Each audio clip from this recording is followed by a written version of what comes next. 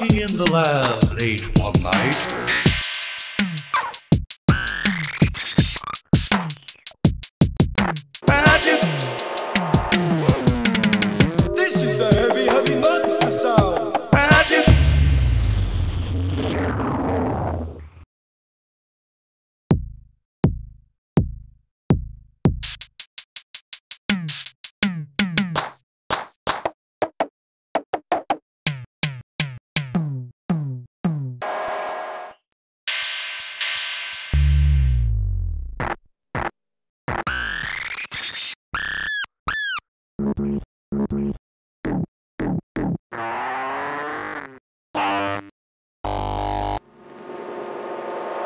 Thank.